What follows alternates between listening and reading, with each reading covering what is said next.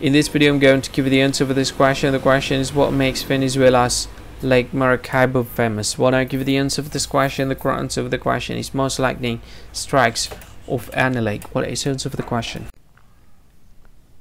Hi, thank you so much for watching this video. If you find this video is very useful, you can help this channel to grow by subscribing this channel.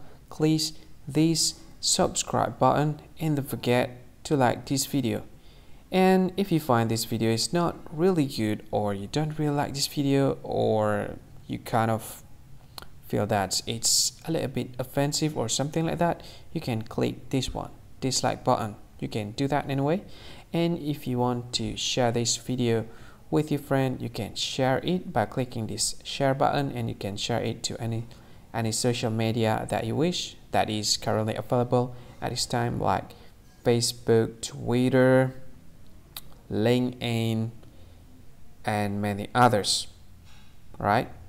And if you want to add this video to your playlist, you can click this one. You can watch this video later and you can find more options by clicking these three dots.